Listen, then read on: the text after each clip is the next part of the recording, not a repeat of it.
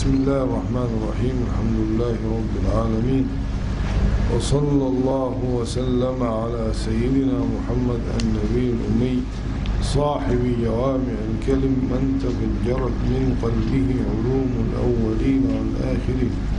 اللهم صل وسلم وبارك عليه وعلى آل بيته الطيبين الطاهرين وصحابته أجمعين والذين اتبعوهم بإحسان إلى يوم الدين. ربنا لا تزغ قلوبنا بعد إذ هديتنا وهب لنا من لدنك رحمة إنك أنت الوهاب. ربنا إنك جامع الناس ليوم لا ريب فيه. إن الله لا يخلف الميعاد. وبعد فقد وصلنا إلى آخر أصل من أصول الكفر. حيث ذكر العلامة الشيخ السنوسي رضي الله تعالى عنه وأرضاه. ونفعنا بعلومه وعلوم مشايخنا في الدارين. آمين. ونفعنا بعلوم الشارح الإمام الشيخ السرقسطي رضي الله تعالى عنه. قال رضي الله تعالى عنه في المد والجهل بالقواعد العقلية يعني والأصل السابع من أصول الكفر الجهل يعني عدم العلم بالقواعد. وعندما فسر الجهل بقوله عدم يبقى إذا يريد إيه؟ ماذا يريد؟ قال الجهل يعني عدم. إذا ماذا يريد بالجهل؟ البسيط أو المركب؟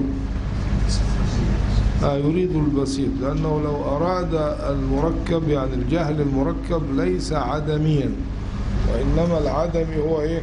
آه هو الجهل البسيط فالجهل البسيط هو إيه؟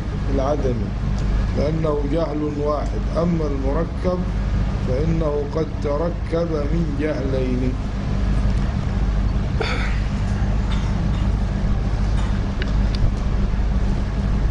والسابع من أصول الكفر الجهل يعني عدم العلم بالقواعد جمع قاعدة وهي قضية كلية تعرف منها أحكام جزئياتها.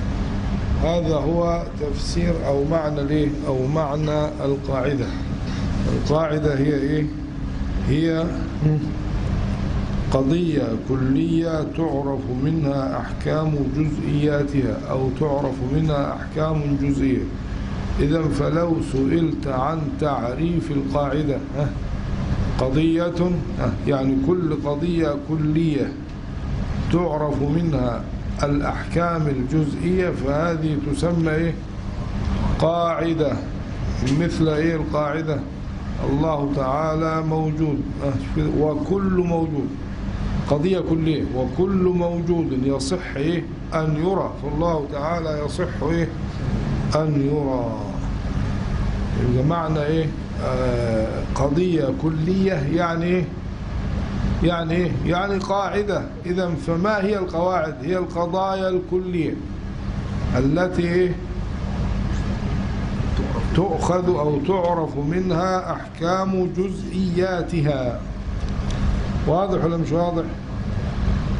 آه والسابع من أصول الكفر. اقرأ يا سيدنا الشيخ. اتضح إنه الأول كان أحسن عشان في فراغ وفي بعد وفي انخفاض. هذا أحسن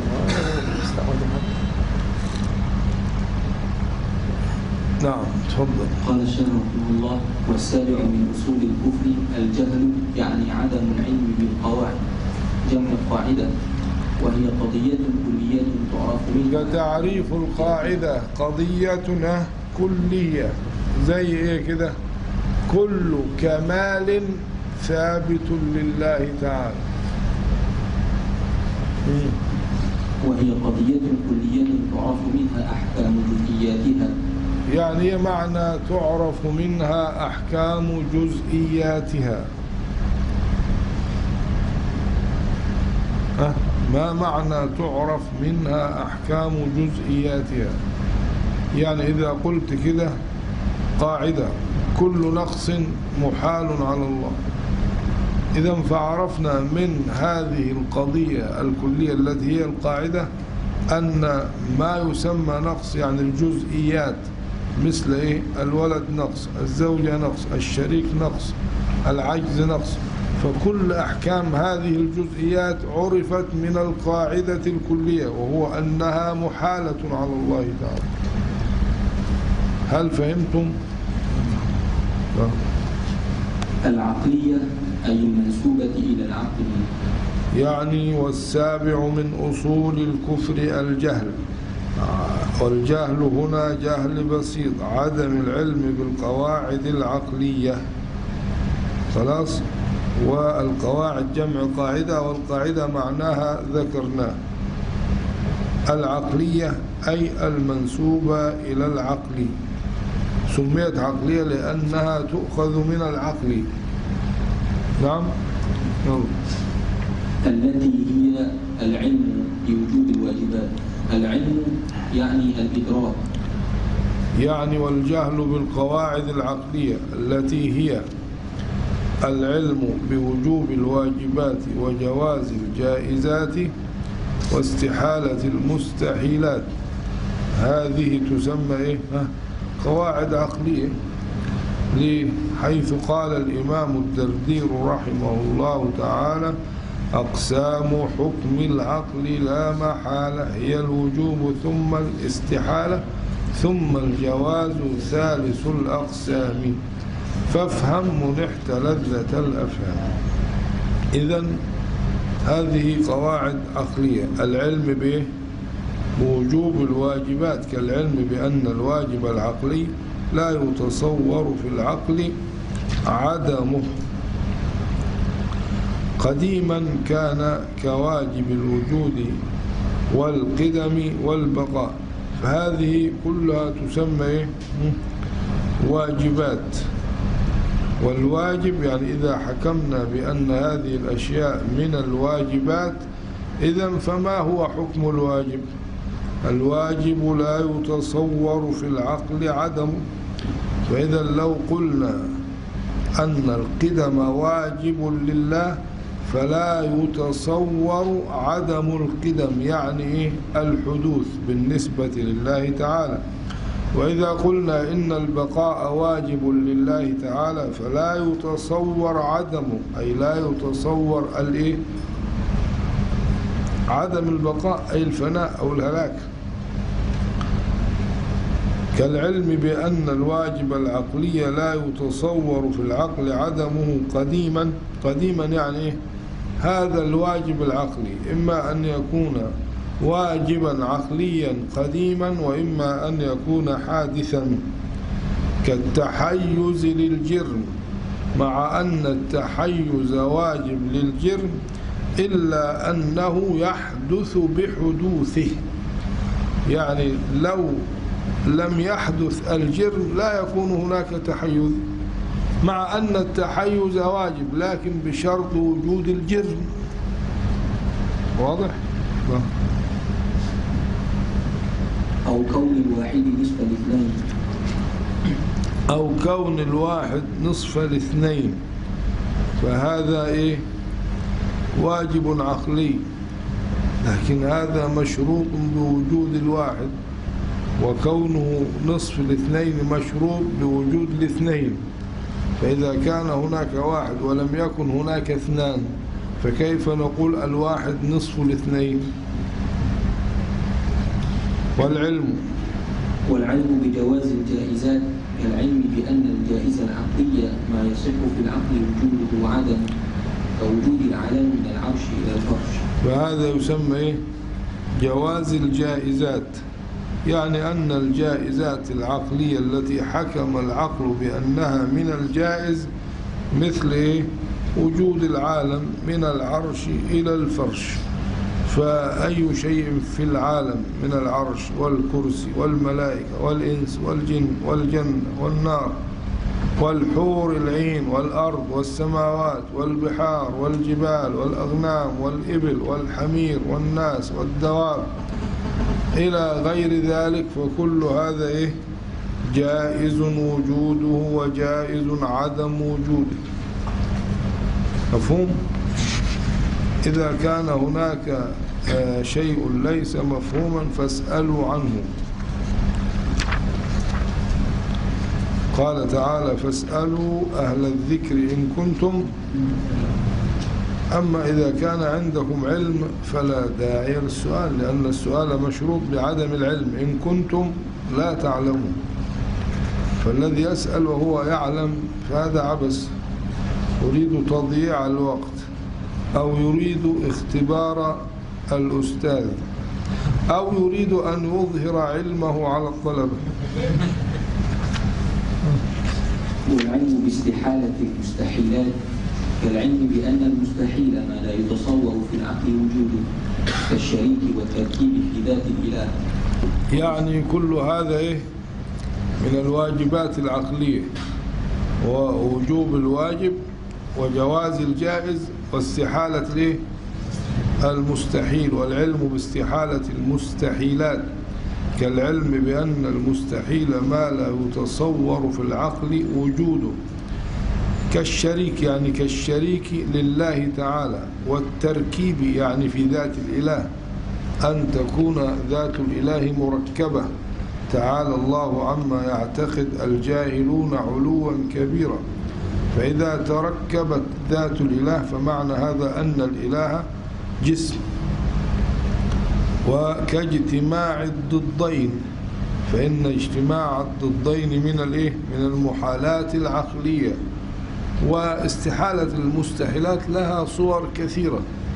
أوصلها الشيخ زكريا الأنصاري إلى أكثر من أربعين صورة صور المحالات العقلية.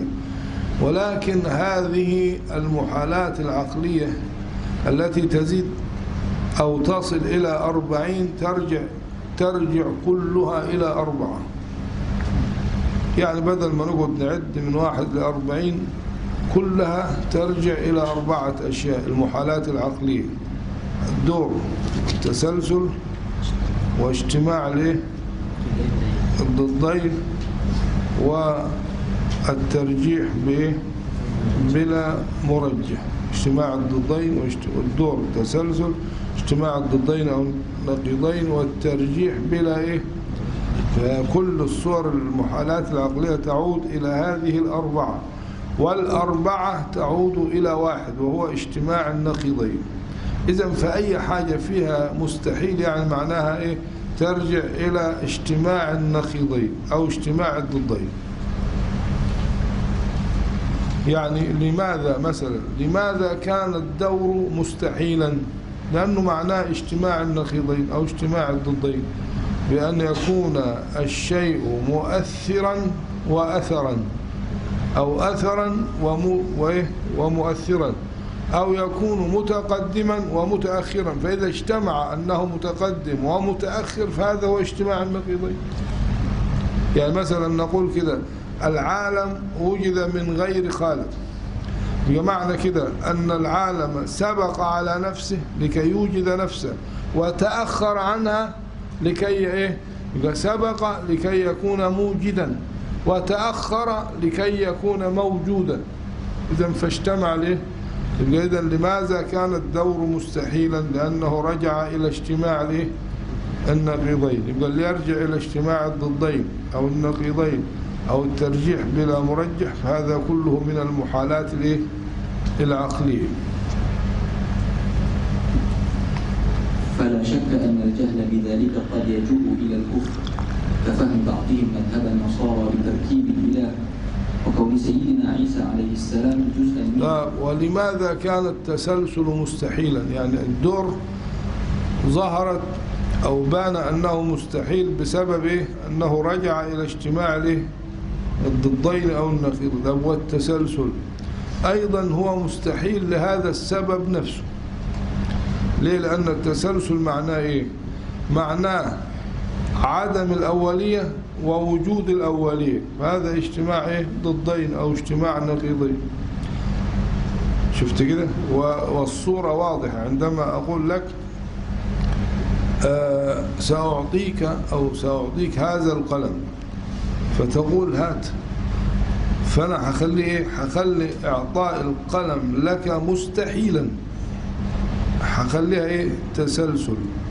فقول لا أعطيك القلم إلا إذا أعطيتك قبله قلم وكل قلم أعطيه لك مشروط بقلم قبله.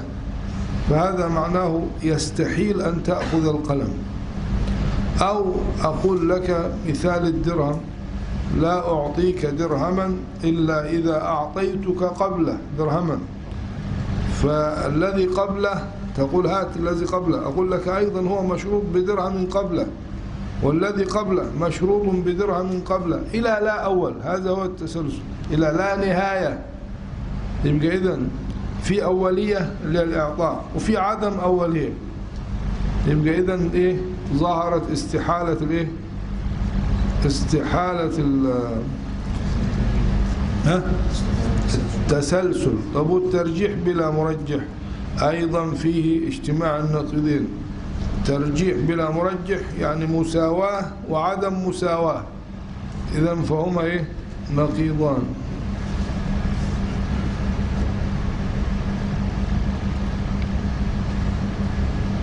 كيف يصح أن نرى كل موجود كما قلت مع أننا لم نرى الروح والعقل وغير ذلك؟ لم نقل إن كل موجود يرى وإنما قلنا يصح يصح أن يرى يعني مثلا رجل في داخل الحجرة وأغلق على نفسه الحجرة هل يرى؟ ها؟ لا هل يصح أن يرى؟ نعم إذا فتح الباب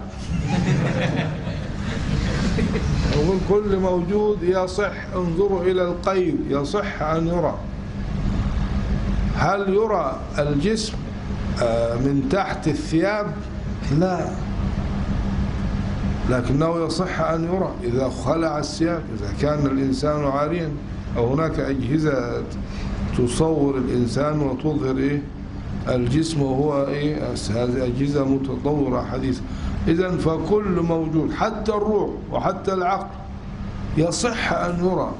طيب إذا لماذا لا يرى العقل؟ هو آه العقل موجود ولا عدم؟ جاوب. موجود. طيب. العدم الشيء العدم اللي هو غير موجود هل يصح أن يرى العدم؟ جاوب لا. كيف يرى وهو عدم؟ إذا إذا كان العدم لا يرى والعلة هي أنه عدم إذا فالموجود يرى.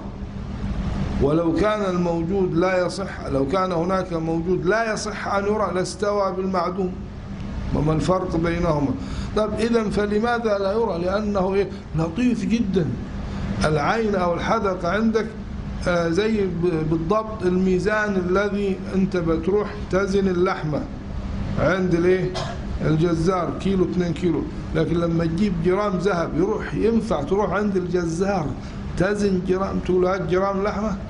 الميزان لا يصلح. ميزان الذهب غير ميزان الحجارة.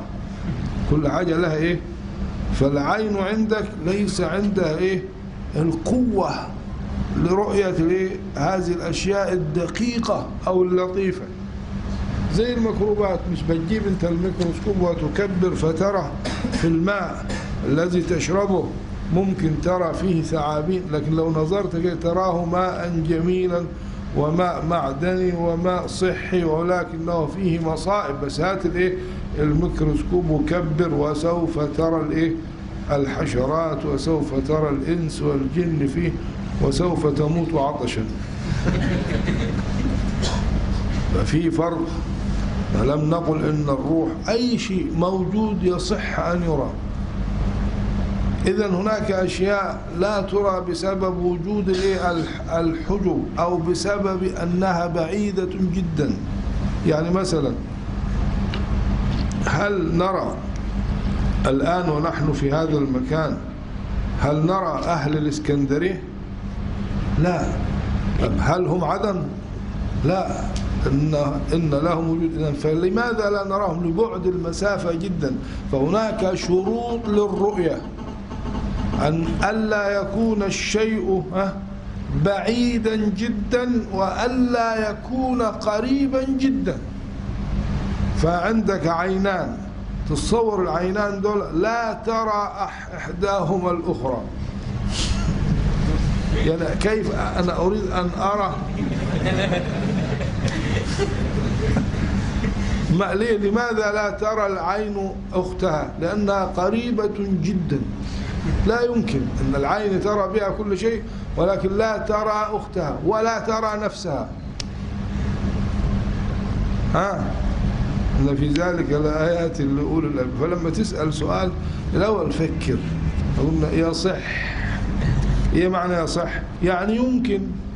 الإمكان مش معناه الوقوع. أقول لك يمكن يعني ينفع يرى لكن قد لا يرى. هناك فرق بين أنه لا يرى وبين أنه يصح أن يرى. فلا يوجد موجود إلا وهو يصح أن يرى. لأنه لو كان موجودا ولا يصح أن يرى يعني لا يجوز أن يرى يعني يستحيل. يبقى إذن هو والمعدوم سواء. لكن هناك شروط للرؤية. هو يصح أن يرى. طب يا أخي يصح. طب كيف لا أراه هو بعيد جدا. عشان يرى لازم يكون طب جبل أحد موجود؟ والله العظيم موجود ورأيناه بأعيننا. لكن أنا عاوز أشوف الآن من هنا جبل أحد. هل تحققت الشروط؟ عاوز تشوف جبل أحد روح المدينة؟ كيف تراه من مصر؟ عاوز تشوفه من مصر شوف المقطم جنبك جبل. مش لازم ت... فهنا في شروط في مسافة في شعاع في قوة. الشيء قد يكون دقيق جدا فلا يرى لأنه إيه؟ صغير. والشيء الكبير جدا برضه لا يرى. ما تقدرش تشوف إيه؟ أبعاده فالرؤيا لها قيود ولها ضوابط إذا فهل هناك موجود موجود تستحيل رؤيته؟ لا. حتى الروح. لو أن الله أعطانا أبصار قوية وكشف عنا الحجب لرأيناها ده أنت الدرهم في جيبك والآن. لا تراه لكنه لا يرى إلا بشرط إخراجه من الجيب. الآن هو القلم. ترونه؟ ها؟ ترون القلم؟ هل ترونه؟ طيب هل ترونه لا. لم يصح أن يرى نعم ولكنه لماذا لا يرى؟ لأنه مستور محجوب. خلاص ما تجيبش أسئلة كده وخلاص. آه. تفضل. والعلم باستحالة المستحيلات والعلم باستحالة المستحيلات آه. كالعلم بأن المستحيل ما لا يتصور في العقل وجوده كالشريك والتركيب في ذات الإله وكاجتماع الضدين فلا شك أن الجهل بذلك قد يجر إلى الكفر كفهم بعضهم مذهب النصارى بتركيب الإله وكون سيدنا فلا شك أن الجهل يعني الجهل بإيه؟ ها؟ بماذا؟ الجهل بالقواعد العقلية يجر إلى الكفر كفهم بعضهم مذهب النصارى بتركيب الإله. لأن الإله ج... النصارى جهلوا أن الإله لا يتركب لأنه لا يتركب إلا إذا كان جسما أو إذا كان حادثا. ولو عرفوا أن الإله لا يجوز عليه التركيب وأن تركبه مستحيل. إذا فالنصارى سبب كفرهم هو الجهل بإيه؟ وليس يوجد مذهب يجهل القواعد العقلية أو دين يجهل القواعد العقلية كدين النصارى. لو وزع الجهل أو الجهالات التي في عقولهم على أهل الأرض جميعا لوسعتهم.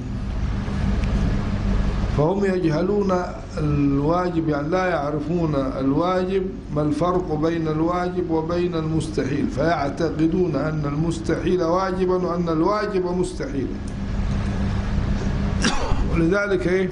اعتقدوا المستحيل اللي هو أن الإله مركب وأن له ابن وأن عيسى عليه السلام جزء من الله تعالى. ما سبب جهلهم أو ما سبب كفرهم اعتقادهم إيه؟ أه؟ ليس استحالة المستحيلات وإنما اعتقادهم جواز المستحيلات.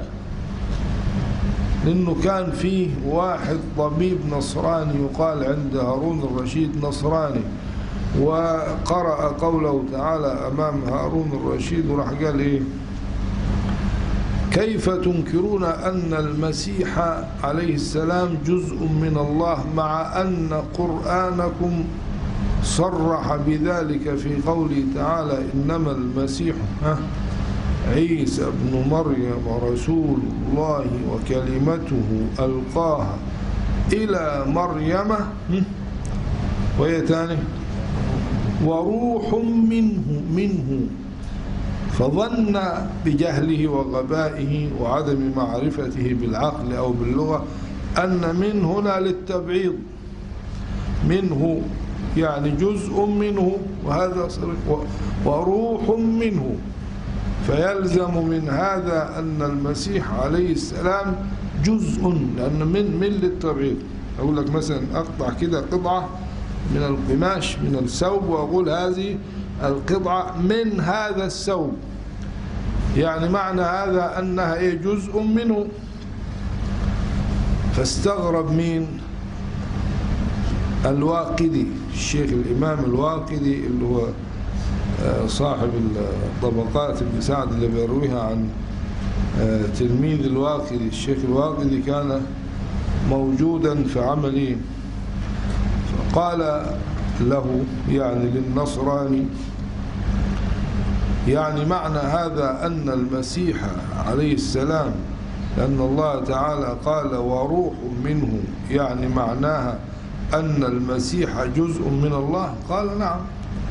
فقرأ عليه قول الله تعالى وسخر لكم ما في السماوات وما في الأرض جميعا منه.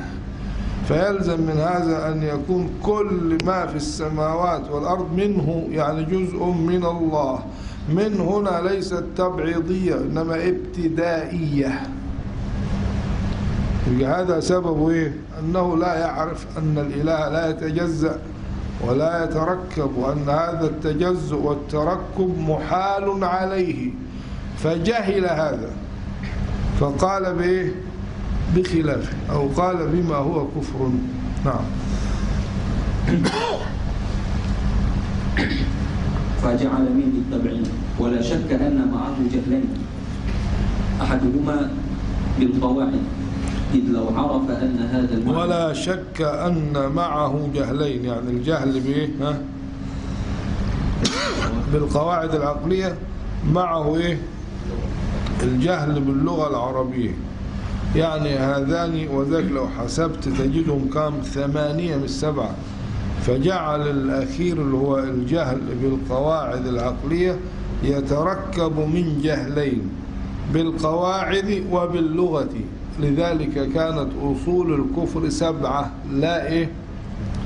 لا ثمانية يعني يلزم من الجهل بالعقل الجهل بالإيه؟ باللغة. يعني بيقول لك ولا شك أن معه جهلين أحدهما بالقواعد إذ لو عرف أن هذا المعنى يستلزم حدوث الإله. ما هو هذا المعنى؟ أن الإله يتركب أو أن له أجزاء.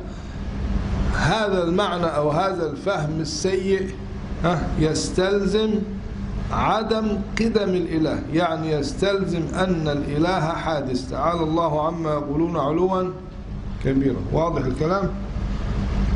ولذلك مثل جهل النصارى جهل المجسمة والمشبهة. يعني مثلا الوهابية أو السلفية المشبهة والمجسمة لا شأن لنا بالسلفية المعتدلة. ولا أرى أنه في حاجة اسمها سلفية معتدلة. السلفية المعتدلة اللي السلف الصالح رضي الله عنهم وهؤلاء كانوا إيه؟ خير القرون. أما الآن لا يوجد سلفي إلا هو مشبه وإيه؟ ومجسم. فيعني قامت علينا الدنيا في مؤتمر الشيشان ما الذي قلنا؟ لماذا نقموا منا أن نفينا التشبيه والتجسيم؟ يعني إذا قالوا إن الله تعالى لا بد أن يكون له مكان فمعنى هذا أن الإله حادث أو المكان قديم. فالقول بأن الله له مكان يلزم منه أحد أمرين لا ثالث لهما إما قدم المكان وإما حدوث الإله.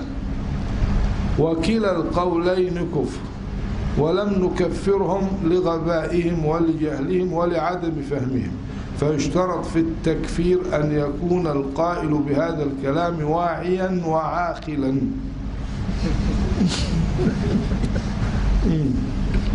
مجنون يعني المجنون آه، لا يحاسب إنما هذا يعني غباء. لا لي يعني. يعني شوف هذه هذه أمور إحنا تكلمنا معك في اللازم والملزوم. أيوه. فهذه أمور ها يلزم منها ها أمور ملزومة. ليه؟ لكذا. يعني هذه أمور تستلزم التركيب والتجزؤ يلزم أن يكون الإله حادثا لأنه لا يتركب القديم. يستلزم حدوث الإله للزوم مشابهته للحوادث في التغير والافتقار إلى المخصص. يعني مثلا لو قلنا إن الإله مركب فمن الذي خصه بتركب دون تركب؟ أو بمقدار دون مقدار من المقادير المركبة لأن المقادير المركبة مختلفة ومتباينة ومتنوعة. فلا بد من مخصص أن يكون خصه بمقدار دون مقدار من طول أو عرض أو آه، ضخامة أو نحافة أو كثرة أو قلة. فلا بد. إذا فينتفي عن الإله أن يكون مركبا لأن ذلك يلزم منه المشابهة للحوادث في تغيرها وافتقارها إلى المخصص من المقادير المركبة. ويستلزم اللي هو إيه؟ هذا المعنى. يستلزم هذا المعنى اللي هو إيه؟ افهم. هذا المعنى اللي هو التركب. يستلزم انعدام حقيقة الألوهية بالكلية. يعني ليس فقط يستلزم حدوث الإله.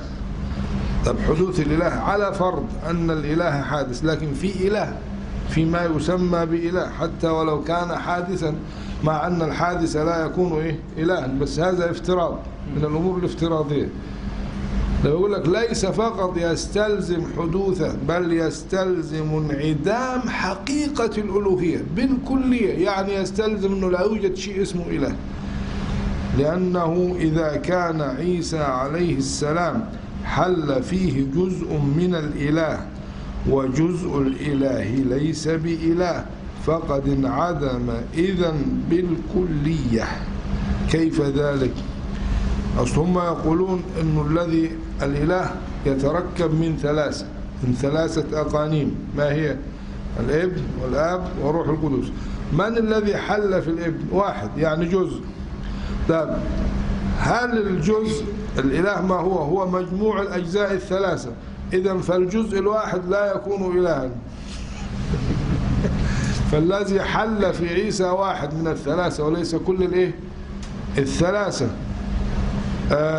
جزء الإله ليس بإله. فقد انعدم إذا بالكلية أي إن الأجزاء أو كل جزء تركب منه الإله. ليس إلها ما دامت كل جزء تركب منه الإله. ليس إلها إذا فالمجموع هذا جزء ليس بإله. هذا جزء ثلاثة ليس بإله. هذا جزء ليس بإله. كم دولة؟ ثلاثة. كل جزء ليس بإله لأن الإله هو إيه؟ مجموع الأجزاء. إذا فكل جزء وحده ليس إلها. فكيف يكون المجموع إلها؟ مع أنه لما يكون ده ليس إله وده ليس إله وده ليس إله يبقى المجموع ليس إله. هو الرياضة كده جدول الضرب كده. يعني لا صفر ها؟ زائد صفر زائد ما هو ليس يعني صفر سالب. فكيف يكون مجموع الأصفار ولو كانت مئة؟ كيف يأتي ب... ب... بواحد؟ إذا ما فيش واحد ما فيش إله. ليه؟ لأن جزء الإله ليس إله. طيب إذا كان الجزء ليس إله فكيف تكون الأجزاء كلها إيه؟ يتركب منها الإله؟ هذا هو العقل. فلذلك أبعد دين في الوجود عن العقل هو إيه؟ دين النصارى. ثم يليه مذهب؟ الوهابية أو السلفية.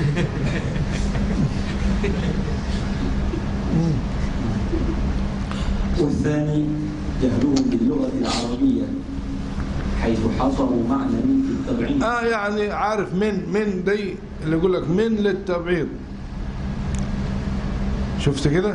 قطعة قطعة من الرغيف. يعني معنى كده إيه هنا؟ من يعني إيه؟ ها؟ التبعيض. طيب هل كل من تفيد التبعيض؟ لا.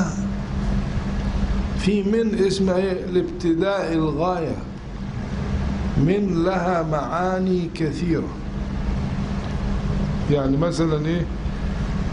سبحان الذي أسرى بعبده ليلا. من. هنا للتبعيض لا. وإنما ابتداء الايه الغاية. بدأت من هنا. ذلك يقولون من تفيد ابتداء الغاية وإلى تفيد انتهاء الغاية. فالغاية لها ابتداء ولها انتهاء. ما الذي يفيد ابتداء الغاية؟ من. وما الذي يفيد انتهاء الغاية؟ إلى. هم لا يعرفون هذا. يكرهون ابن عقيل ويكرهون ابن مالك إمام النحو ويكرهون متن السلم في المنطق ويكرهون أصول الفقه ولا يعرفون إلا فقط إيه؟ علم الجرح والحديث ال ال ال فقط الضعيف والمتروك وهكذا. هذا الذي يعرفون وربما يحفظون شيئا من كتاب الله. طب إذا كانت من في قوله تعالى إنما المسيح عيسى ابن مريم رسول الله وكلمته ألقاها إلى مريم وروح منه تفيد التبعيض فكيف لا تفيد التبعيض في قوله تعالى وسخر لكم ما في السماوات وما في الأرض جميعا منه؟ يعني لماذا لم يفهموا ذلك؟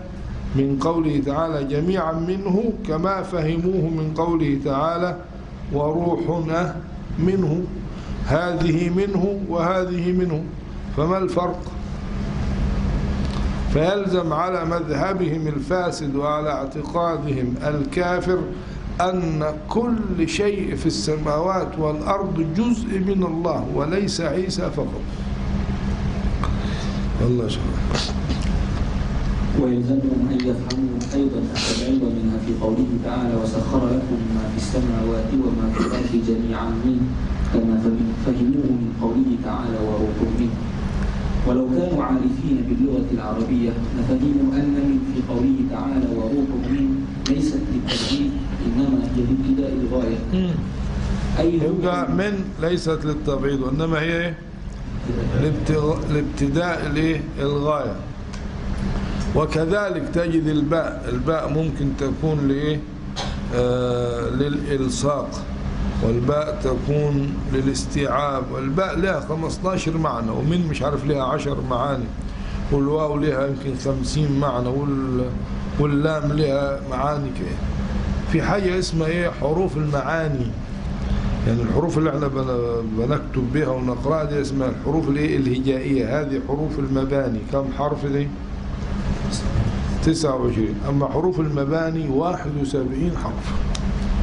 كانوا زمان يحفظوها حرف حروف المبنى المباني 29 حروف المعاني 71 حروف الإيه؟ المعاني. يعني الحرف يعني مثلا الكاف في ك- كتب. هذا حرف إيه؟ مبنى مش حرف معنى. لا حرف هي كتب الكاف واحدة ملاش معنى. فهذه تسمى حروف مباني. يعني تبنى منها الكلمة بخ- بخلاف حرف المعنى. حرف المعنى يعني يدل على معنى. فالكاف في كتب لا معنى لها. إنما الكاف في قوله تعالى ليس ك ك كمثله شيء. أو ك أو كالذي استوقد. هنا لها معنى ولا ملاش معنى؟ فهنا تسمى الكاف حرف معنى اللي هو التشبيه. والكاف مثلا أقسم بالله ال- الباء أقسم بالله. الباء هنا لها معنى إنما الباء في كا تا باء ملاش معنى. فهنا الباء تسمى إيه؟ باء معنى اللي هو القسم باء القسم. وكذلك لله آه، لها معنى اللام هنا. له له ما في السماوات. فحرف ال ال ال الهجاء ده يسمى حرف مبنى. أما حروف وحروف المباني حروف الهجاء 29 مش 28 29 وحروف المعاني 71 حرف منها ما يكون على حرف واحد زي الواو. الواو الواو الواو اسمه إيه؟ حرف معنى الواو واو العطف مش كده؟ أو واو القسم ده الواو لها معاني كثيرة. آه واو الاستئناف. شوف يقول لك الواو للقسم الواو للعطف الواو للاستئناف الواو ال- اللي هي الحالية. شوف كده. معاني كثيرة للإيه؟ لحرف واحد. فهذا يسمى حرف إيه معنى؟ لا في حروف المعنى ما هو على حرف واحد زي الواو وزي الباء. فيما هو على حرفين زي من. من يقول لك من وعن يقول لك من حرف جر. من حرف طب ده من حرفين مي- ميم ونون. لا هنا حرف معنى. وعن حرف إيه؟ جر طيب وممكن إلى. ثلاث حروف يقول لك حرف جر إلى ده ثلاثة كيف حرف؟ ما حرف معنى ده مش حرف إيه؟ مبنى. يبقى حرف المعنى يكون حرف واحد زي إيه؟ الواو. وحرفين زي عن وزي من. وثلاثة أحرف زي إلى. وأربعة أحرف. وخمسة أحرف. زي إيه الأربعة؟ زي إلا. اللي هو إيه؟ حرف استثناء. واحد يقول لي إلا ده ثلاث حروف يقول لا في اللام المشددة بحرفين. إلا يبقى إلا مش مش ثلاثة إلا أربعة. طب فين الخمسة؟ لكن. لكن دول كم حرف؟ يقول لك لكن حرف استدراك حرف مع إن هي كم؟ خمسة. يبقى اذا حروف ال- المعاني لو جمعناها حتوصل كم؟ 71 حرف وكان الناس قديما قبل ظهور السلفية والوهابية كانوا يحفظون كما يحفظون أبجد هوز. ولو كانوا عارفين باللغة العربية لفهموا أن من في قوله وروح في قوله تعالى وروح منه ليست للتبعيد وإنما هي لابتداء الغاية. أي روح جاء منه تعالى خلقا واختراعا. هي معنى وروح منه. يعني ربنا خلق هذا هذا الروح من خلقه يعني من اختراعه. وليس منه يعني تركب منه أو جزء منه. يعني زي ما جاءك خير فتقول هذا من من فضل الله من فضل الله. يعني أنشأه الله أو خلقه الله. يعني هذا بدء وهذا الخير من عند الله وليس معنى أن هذا الفضل وهذا الخير جزء من الله. فالذي يفهم كذلك يكون مجنونا بل المجانين لا تفهم هذا. كما أن معناها ذلك في قوله تعالى وسخر لكم ما في السماوات وما في الأرض جميعا. منه وإلى هذا أشار بقوله والجهل باللسان العربي الذي هو علم اللغة وعلم البيان.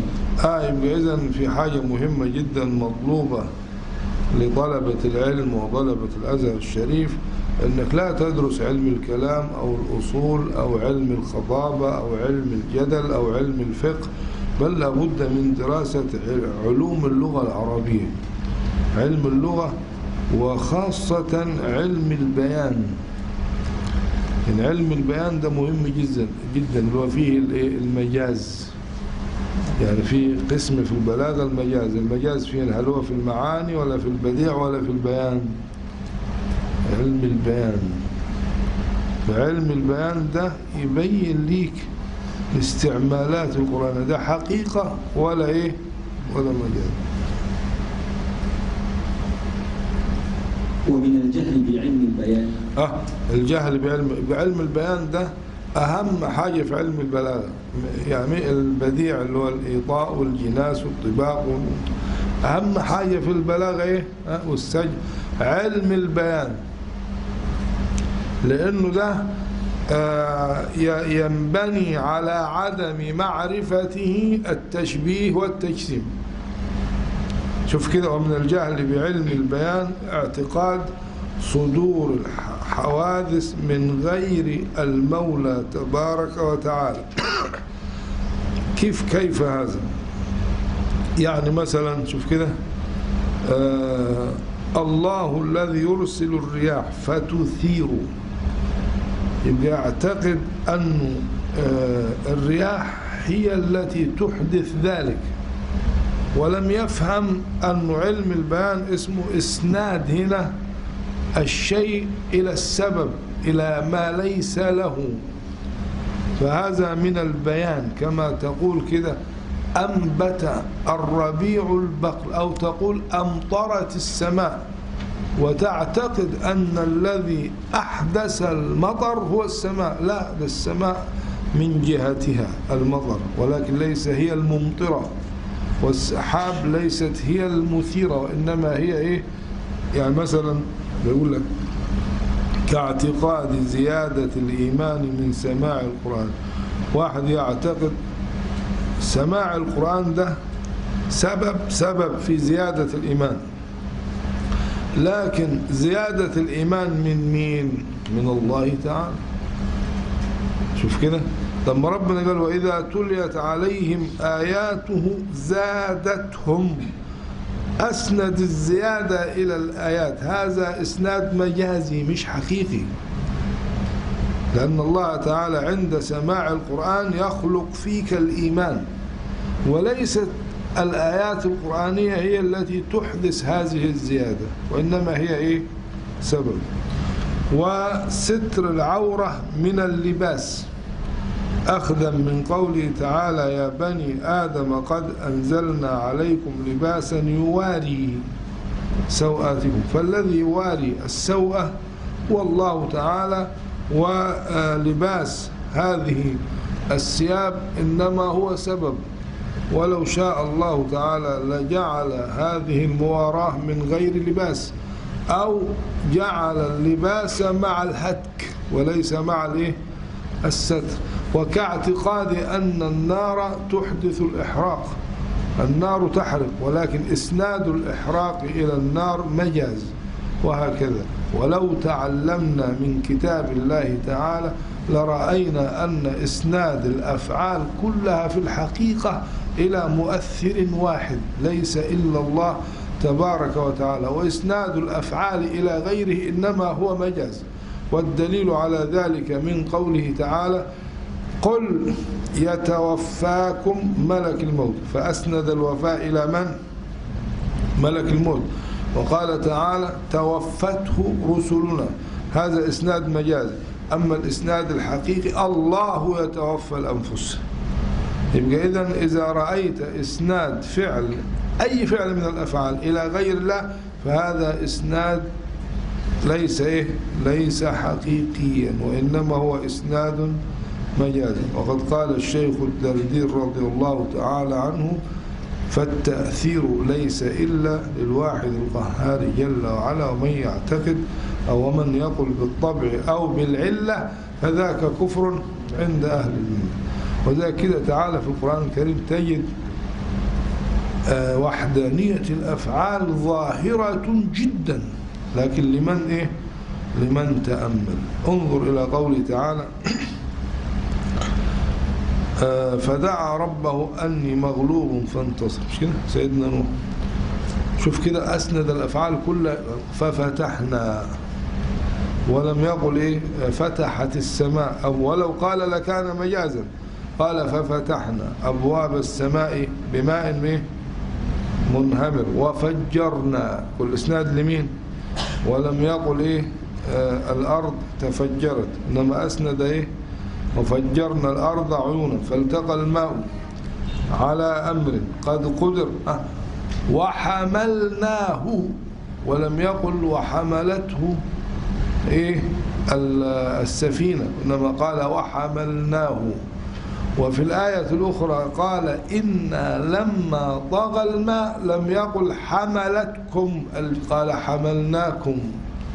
إذا فالجارية عن السفينة هي إيه؟ هي سبب ولكن الحاملة حقيقة هو الله تعالى والمؤثر هو الله والمحيي هو الله والمميت هو الله والقادر هو الله والموجد هو الله والمعدم هو الله. وبعد ذلك يقولون دول مشركين. ده إحنا ما اعتقدنا تأثيرا لغير الله. أين الشرك عندنا؟ لا تأثير لغير الله وحدانية الأفعال الله واحد في ذاته وفي صفاته وفي أفعاله. أين الشرك؟ يقولون أنت مشرك لأنك آه، تزور القبور. وهل هل زيارة القبور هل هي شرك؟ هل أعتقد أن الميت أو الحي له تأثير؟ ده إذا فرقنا وقلنا إن الميت ليس له تأثير والحي له تأثير فهذا هو الشرك.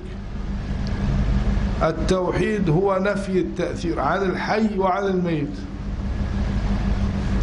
إن هذا لشيء عجيب فأشد أو أكثر الناس معرفة بالتوحيد هم السادة الأشاعرة والماتردية وأهل التصوف وأهل السنة والجماعة.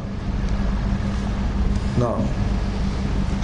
وإدارة الرياح بالسحاب ونشرها أخذا من قوله تعالى الله الذي يرسل الرياح فتثير سحابا. ومن خالط علم البيان عرف أن الإسناد افهم علم البيان. يا ريت تاخذوا درس أو دروس مكثفة في علم البيان. مش مهم أنا عندي البديع والمعاني مهمة لكن أهم حاجة في البلاغة والقرآن كله بلاغة. أفصح البيان وأبلغ وأحسن الكتب. من غير علم البيان لا تفهم آيات الصفات ولا تفهم آيات القرآن. ومن خالط علم البيان عرف أن الإسناد في جميع ذلك من باب الإسناد المجازي العقلي. هي معنى المجاز العقلي اللي هو إسناد الفعل إلى غير ما هو له في الظاهر عند المتكلم. هذا يسمى إيه؟ مجاز عقلي. يعني مثلا شوف كده عندما شوف ده في القرآن موجود. بس الحمد لله لم يكن في هذا الوقت هناك حد من السلفية أو من هؤلاء ال- المشبهة. لما إيه؟ آه سيدنا جبريل قالت مريم عليه السلام قالت إيه؟ إني أعوذ بالرحمن منك إن كنت. قال إنما أنا رسول إنما إيه؟ أنا رسول ربك. لأهب لك غلاما. هل هو الذي يهب الغلام؟ أسند الهبة إليه مع أن الواهب هو الله. هذا اسمه إسناد الشيء إلى غير ما هو هذا مجاز عقلي. لأنه قال لي أهب لك غلاما. وبنو إسرائيل كانوا رغم أنهم عبري آه، لغة عبرية مش عرب ومع ذلك فهموا البيان. قالوا لسيدنا موسى ادع لنا ربك. المفروض يقول إيه؟ لئن كشف الله لئن كشفت فأسندوا الكشف إلى مين؟ لأنه في قرينة اللي هي الدعاء فيعلمون أن الكاشف للبلاء أو العذاب هو الله. ربنا اكشف عنا العذاب ولكنهم أسندوه إلى موسى لأنه هو السبب. فإسناد الشيء إلى يعني هم لم يعتقدوا أن موسى هو المؤثر أو أن موسى هو الذي بيده وإلا لدعوه أو لعبدوه إنما قالوا ادع لنا ربك. فهذا دليل على أنهم لم يعبدوا موسى. إذا فعندما أقف عند القبر وأتوسل وأقول له يا سيدنا الحسين يا آه اكشف عنا أو مثلا كذا معناه أنك تدعو الله بذلك فأنت السبب فيحقق الله الخير على يديك ولكن لا أعتقد أنه هو الذي يفعل ذلك.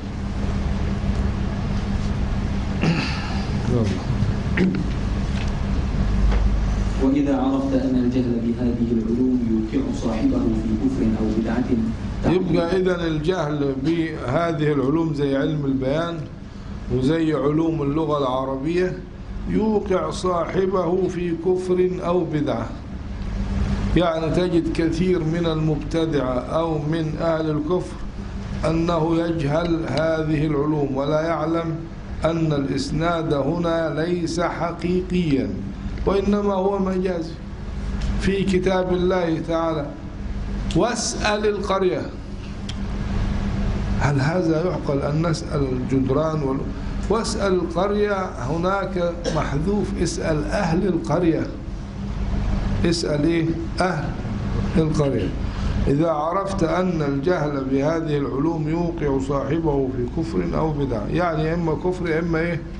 بدعة تعين على من له قابلية لفهمها أن يجتهد في تحصيلها فأناشدكم الله تعالى والرحم. إذا كان هناك قابلية ولا بد أن تكون كيف ندرس العلوم الأزهرية من غير قابلية. لا بد من دراسة اللغة العربية وخاصة ما يتعلق بعلوم البلاغة لأن لها اتصالا مباشرا بفهم كتاب الله. من غير هذا لا يمكن فهم القرآن فهما إيه؟ صحيحا. يعني مثلا لو أن واحدا لا يفهم البلاغة وسمع قول الله تعالى عن القرآن الكريم قال تعالى وإنه لكتاب عزيز لا يأتيه الباطل من بين يديه ولا من خلفه. يعتقد أن القرآن له إيه؟ يدان وله خلف وله ظهر. يقول من بين يديه. ولا يعلم أن هذا إيه؟ استعمال مجازي في اللغة العربية. لا بد من الاهتمام وأكرر كثيرا أن اللغة هي مفتاح الفهم. يبقى من كان له قابلية لفهمها أن يجتهد في تحصيلها. لا نتعلم العربية حبا في العرب وإنما حبا في كتاب الله لأن الله تعالى لو كان يعلم أن هناك لغة أفضل منها لإيه؟ لأنزل بها كتابه العزيز. والغريب أنه اللي خدموا اللغة العربية خدمة وتفانوا فيها لم يكونوا عربا. يعني تجي السيبوية ده مش من العرب. آه اللي هم آه؟ فارس يعني ومع ذلك يعني أصل العلوم العربية. فتفانى العجم الأعاجم تفانوا في خدمة كتاب الله في خدمة اللغة العربية حبا في كتاب الله. شوف خدموا اللغة العربية وعملوا فيها المنظومات والقواعد وكذا. أئمة اللغة معظمهم ليسوا إيه؟ ليسوا عربا. لماذا خدموا اللغة العربية؟ حبا لأنها لغة الإسلام لغة القرآن. مهما كانت اللغات الأخرى لو أنك صليت بها لكانت صلاتك باطلة إلا عند الحنفية عند من يعجز يعجز. لو كان يعلم أو يستطيع قراءة الفاتحة العربية لا تجوز الصلاة بغيرها. أما إذا كان لا يستطيع أن يقرأ بالعربية فهل نقول له لا تصلي حتى تتعلم؟ لا يصلي بأي لغة. هذا إيه؟ اسمه ضرورة. من باب الإيه؟ لأنه عاجز حتى إيه؟ يتعلم. لكن لا بد أن يتعلم. ومن ليس له قابلية لفهمها وجب عليه أن يتعلم ما هو فرض عيني. يعني اللي هو ما يستطيعش وما يعرفش يحصل أو فاته السن كبر أو ضعيف الفهم يبقى لازم يتعلم ما هو فرض عيني عليه من علم التوحيد زي قراءة الفاتحة في الصلاة. يعني يتعلم الأشياء اللي التي لا بد منها. ومن سمع في الكتاب والسنة ما يقضي ظاهره بخلاف ما عرف في علم التوحيد قطع بأن ذلك الظاهر المستحيل غير مراد غير مراد الله تعالى ولا رسوله صلى الله عليه وسلم. يعني اللي هيفهم ذلك. ثم يسمع في كتاب الله أو في سنة رسوله ما يقتضي ظاهره خلاف ما عرف. يعني خلاف ما عرف من إيه؟ من الواجبات والمستحيلات والجائزات. فماذا يص- يصنع؟ يعني يسمع في القرآن يد الله وهو يعلم أن الجارحة وأن الجسمية عليه مستحيلة. أو يسمع مثلا ينزل في في السنة النبوية ينزل ربنا. فماذا يصنع؟ يقطع عليه كده أن يقطع بأن ذلك الظاهر المستحيل غير مراد الله ولا رسوله. يعني يؤمن إيمانا يقينيا أن هذا الظاهر الذي يستحيل ليس مرادا لله ولا الرسول إذا فما هو مراد الله ورسوله؟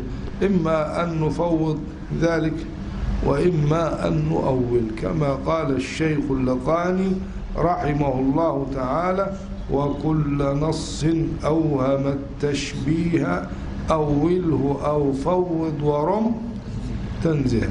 يبقى أعتقد أن الظاهر غير مراد وأن لذلك الكلام معنى صحيحا وتأويلا ممكنا مليحا.